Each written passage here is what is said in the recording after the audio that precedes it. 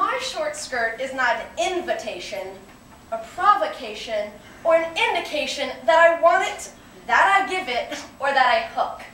My short skirt is not asking for it. It does not want you to pull it off or tear it down me. My short skirt is not a legal reason for raping me. Although it has been in the past, it will not hold up in today's court. I mean, my short skirt, believe it or not, actually has nothing to do with you. It's all about discovering the calves on my lower body and cool autumn air traveling up my inner thighs. It is all about everything that I see and walk past and feel living inside of me. My vagina does not, or my short skirt does not make me undecided or stupid or a malleable little girl.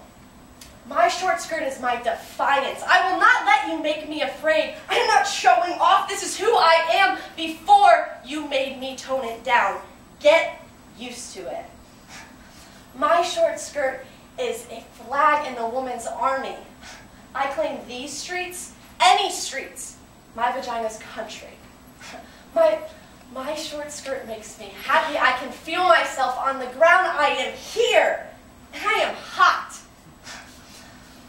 My short skirt is turquoise colored water and colored fish swimming. It's a summery festival on a starry night, a bird calling. My short skirt It's a tango dip, a twist, a breath of fresh air. My short skirt is excitation, initiation, and appreciation. But most importantly, my short skirt and everything under it is mine. Mine